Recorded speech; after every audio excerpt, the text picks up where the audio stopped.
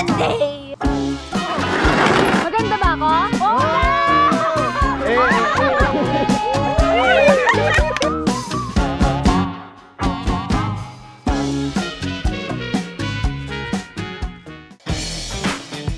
Hi, good morning. Um, today, ano ba gagawin natin? Kakain na kakain. Lunch muna tayo, syempre.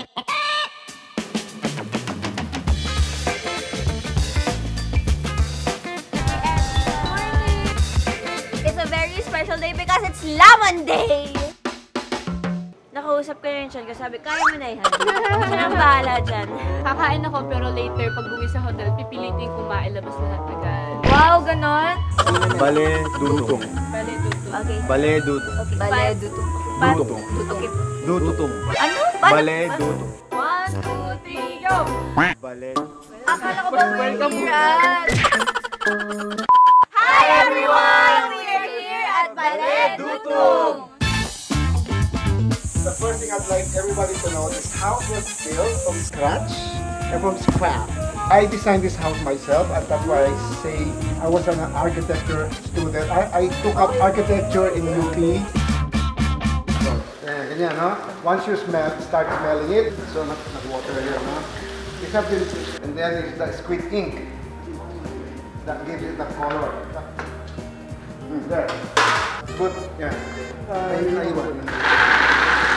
Ito yung pinakuluan ng squid kanina. And then it's a bit salty. so, yeah. Right? 28. Oh, 29. Oh, adobong pusit na blender with the pusit. Sauce pa lang yan. Diba? Masarap na. Ito na yung base. And then,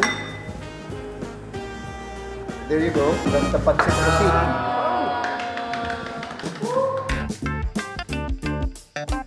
Guys, sobrang sarap ng pagkain. Food is great. I think we've been through three courses na.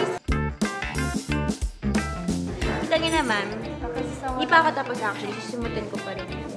Original Filipino adobo may have been lost to history, but I wrote in the adobo book, I beg to disagree.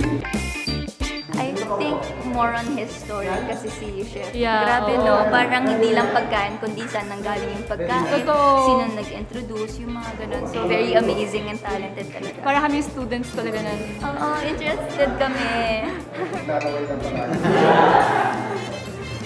Nako guys, all the courses are very good. So just being able to appreciate adobo on its own, sabi nga ni Chef kanina, no, ang daming different versions of it talaga. Pero just being able to appreciate each version of it and adding your, own twist to it, Exactly. di ba? Just like how there's always another version of every story. Wow! Pang-ending na yan, pang-ending. Kakatapos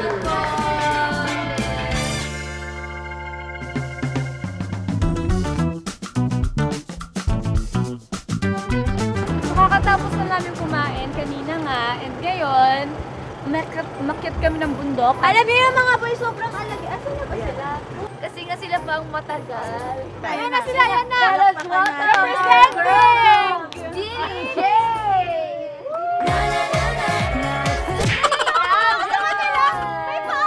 Change! Anyways, tara na. Who's the greatest threat to all animals? Check in to find answer. Wow! Ay, It's us pala. Dance, dance, dance, dance! Eh! Maganda ba ako? Oh! Thank you, maganda ako! Babe,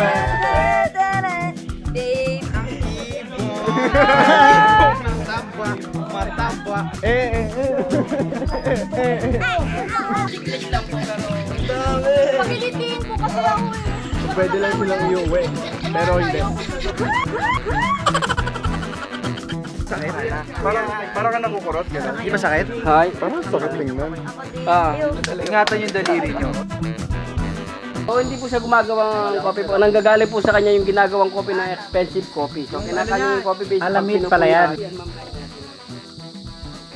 ay talagang aggressive talaga siya. Huling lumabas sa maze na to. Right, right, right, right, right. Parang narinig ko sila nagwawag, hindi pwede. Always a dead end with a maze. Wow!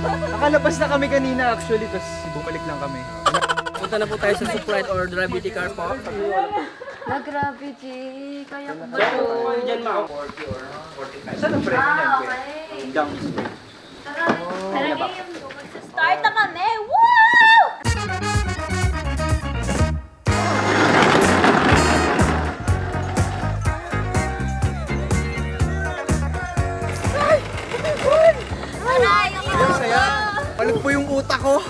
Kasama sa gravity. Kaya ako huminto. Oo. Ako ko nung una. Nag-up kasi ako ganun. Dito natin malalaman kung sino. The Skyway. While we, I was riding him, sobrang, parang na-feel na ako ng connection sa kanya. Love language daw niya hatid sundo. Okay sa'yo. Diyan mo ako nakukuha eh! Halika, na, halika na. So that's it. Thank you so much, Zoocobia. Thank you so much fun. Ano? Gutom ba ulit?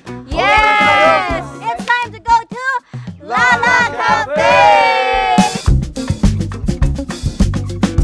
Hi everyone! Kakarating ko lang sa Lala Cafe.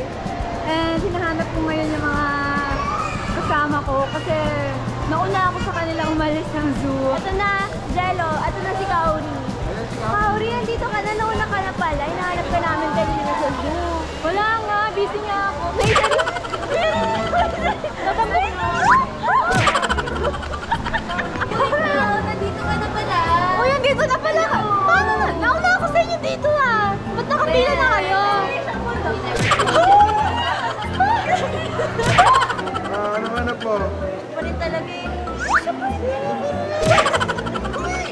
Nawala yan kanina sa zoo. Kailangan niyang bumawi ng pagkain. Kasi bawas na. So, hindi ako nag-coffee ngayon. Nag-blueberry smoothie ako kasi feeling ko kailangan ko ng fruits sa katawan ko. So, blueberry smoothie tayo. Naguluran sobra-sobra Masarap na rin Sama-sama sa ikatehu Gulugulan-gulugugaku Sobrang Instagrammable, Instagrammable niya. Hi po. Nahihiya ako kasi ang daming tao. Pero anyway, sobrang Instagrammable niya. At parang mahangin siya. Hindi ko lang kung dahil may puno rin or aircon. Ang daming puro greens and yellow and gold and brown yung theme ng coffee shop na to. And ang stress ko, ang laki niya, super like may second floor pa. And then, hindi lang siya pa second floor kasi super lawak na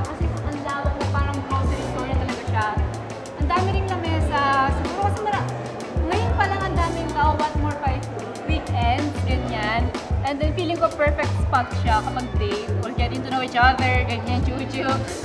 Pero lalo akong dadalhin dito. Kasi, alam niyo na. Anyways, ang dami rin nilang pagpipilian na pagkain, bulaga. Wala na tutokobia ka pa pala. Ah, okay. Piling ko bumalik ako